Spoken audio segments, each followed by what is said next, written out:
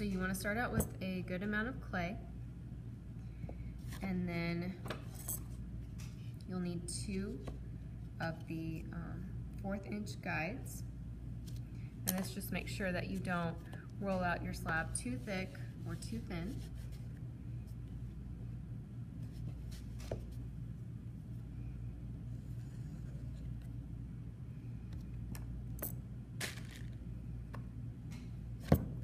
So you want to place them on the side of your clay and you want to make sure that they're close enough that both of the guides will always touch the ends of the rolling pin.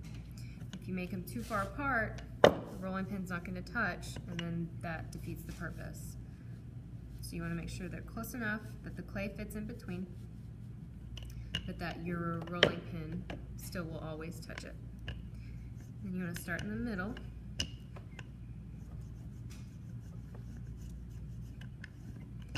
And start to roll it out.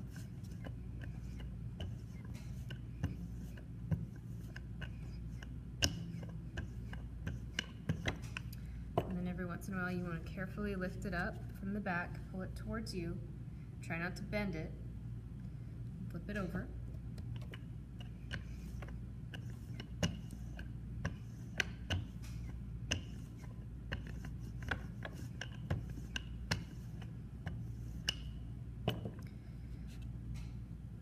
I can already tell this is going to be too much clay. I don't need to roll out this much right now. So I'm going to cut up a little bit. And this will just make it easier for me to roll out to the right thickness. So again, I'm going to pick it up, lift it towards me without bending it. Now I'm going to flip it this way. And this is just helping to make sure that the clay gets stretched out evenly.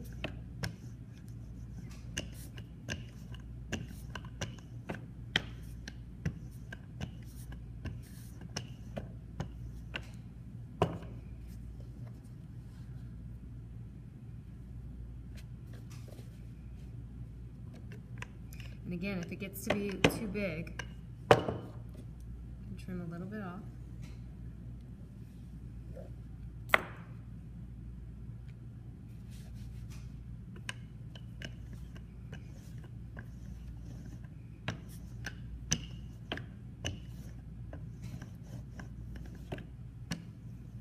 Know if it's the right thickness, if you're done, if the rolling pin goes over the clay, but the clay doesn't move anymore.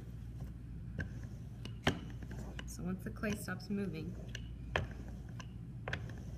you know it's this thick.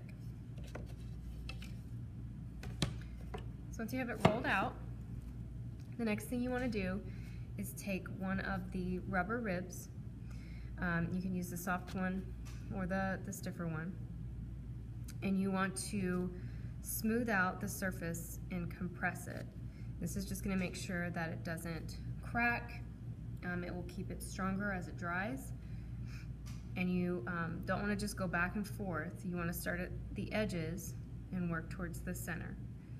So you're really trying to just smooth and compress that surface, not stretched it out anymore.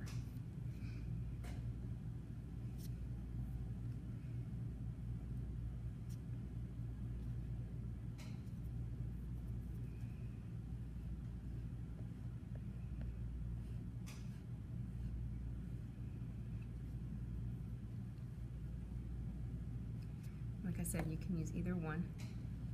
Sometimes I like to use the stiffer one first and then go back with the softer one.